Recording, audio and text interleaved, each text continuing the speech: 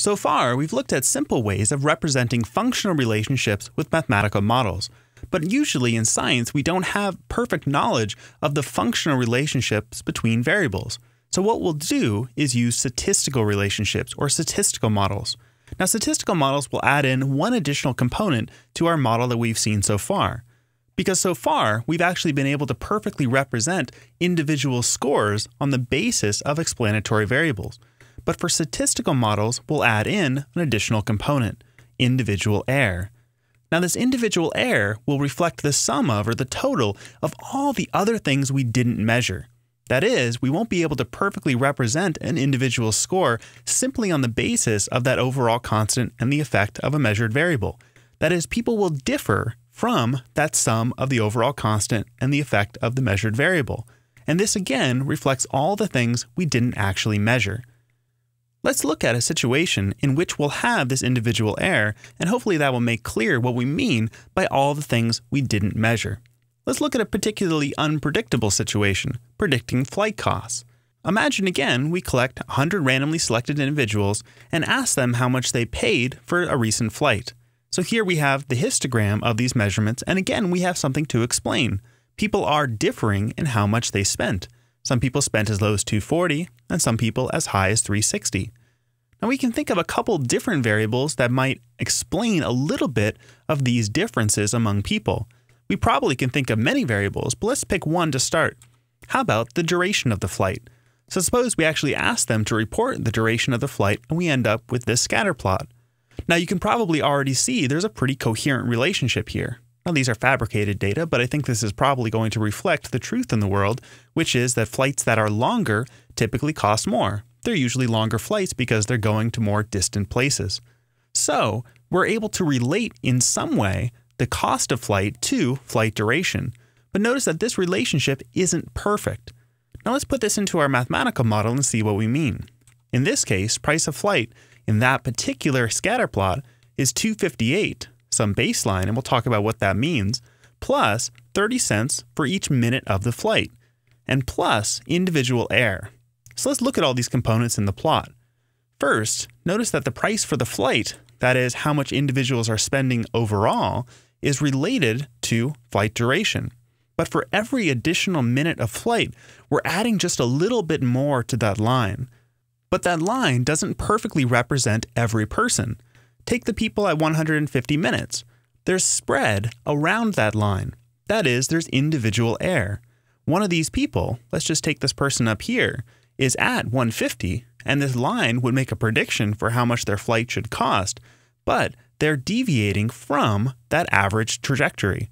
That is, the person has individual error. There are other things about that individual's flight that are probably accounting for it to be a higher cost. It may have simply been the time of day this person purchased the flight, or the day of the week, or the fact that that flight was to a more popular destination. There are other factors other than flight duration that explain cost of flight, and we only have one variable in this data set that is actually used for explanation. So we have a model, and it's not perfectly explaining cost of flight, but it does help us understand a little bit about what factors influence the cost of flight. Now let's take a second to look at the 258, our baseline here. Now that baseline in this type of model represents the y-intercept, something we'll come back to when we talk about these models more thoroughly. But for now, notice that what that represents is simply what the price of a flight would be predicted to be if it had zero minutes of duration. Now, that doesn't make a lot of sense for a functional relationship, but for a statistical relationship like this, that's a useful component of our model. It's the baseline before we add in the additional cost for each minute. Now, instead of using a quantitative predictor like flight duration, let's try to explain these differences among people, that is, the differences in how much they spent, in terms of a grouping variable, like we did for parking permit costs. In this case, it would make sense to represent it in terms of the airline or something else that groups these individuals. Here we have the Delta group, the Southwest group, and the Virgin group. In this case, we can see that there are differences between these airlines in terms of the average cost. I have in blue here the overall average, and let me add in the averages for each of these groups. So we can see that Delta is a little bit above average, Southwest Airlines a little bit below that average, and Virgin America a little bit below that average. Let's imagine when I collected these data, and I'm not so crazy to actually do this in an airport, but if I did, let's imagine this was an airport terminal that only had these three airlines. So these are the only groups we actually observed in these data. Now let's see how we can describe this in terms of a mathematical model. Again, we'll have our basic mathematical model template, an individual score on that outcome measure, how much they paid, equal to again some overall constant, plus the effect of some measured variable, plus individual error. In this case, it's going to be the price for flight is equal to that overall average price plus the cost offsets for each of the different airlines. Again, remember, we're going to be using these models to make inferences about populations. This is really just a sample of individuals. So representing this model as a cost offset model, or what's known again as an effects coded model, will be useful for us. But again, remember, the combined sum of that red and blue section is really just the mean for each of those groups. So in actually calculating these, it's as simple as just finding the mean for each group and the difference to the overall average. But let's look at these offsets on our actual plot. Again, for Delta, we can see Delta is $11 over the average, Southwest, $3.40 less than the average, and Virgin, a little over $8.33 less than the average. We've again just described the differences between the groups and the overall grand mean. But notice again that within each group, there is still individual error. That individual error is capturing all the other things we didn't measure.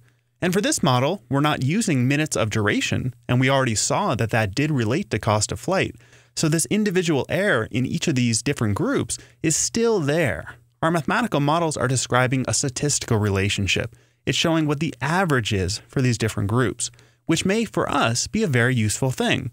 Because going forward, maybe we want to know if Delta, Southwest, and Virgin actually differ in their overall costs. That is, overall, if we were to observe everybody, would these airlines actually differ? We're going to be able to make an inference about that using those cost offsets. But we always have to keep in mind that there's still individual error.